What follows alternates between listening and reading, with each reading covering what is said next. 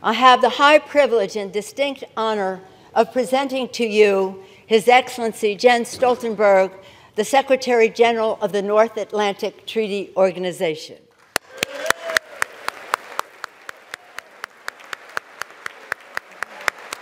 I am really, truly honored and grateful for the privilege of addressing you all today and to represent the 29 members of the NATO alliance.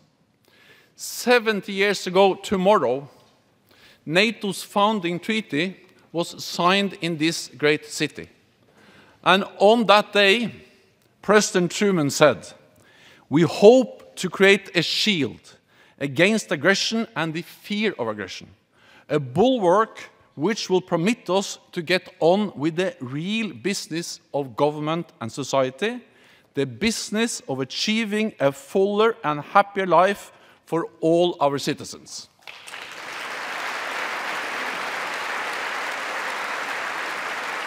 The Atlantic does not divide us, it unites us.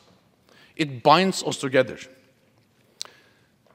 And for Norwegians like me, the Atlantic Ocean defines who we are. Indeed, it was a Norseman, Leif Erikson, who was the first European to reach American shores.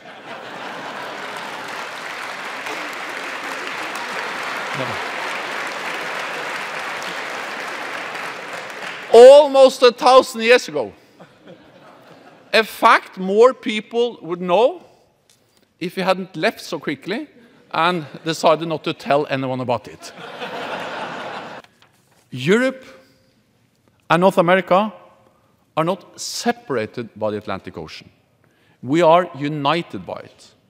And just like the Atlantic, NATO unites our continents, our nations, and our people.